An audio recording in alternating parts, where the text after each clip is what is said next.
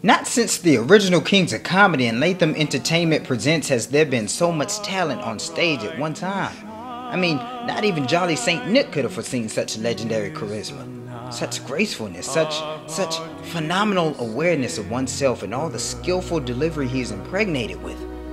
I mean, comedy will never be the same as it was before, but the kingdom of comedy has been postponing the inauguration of its new leaders, its rightful heir to the throne, the king of comedy, the king.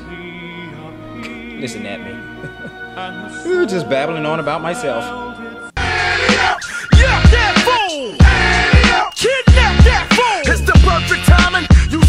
I ask myself, self, what are you about to do? Self says, do what you do best, make people laugh. Get him, get him.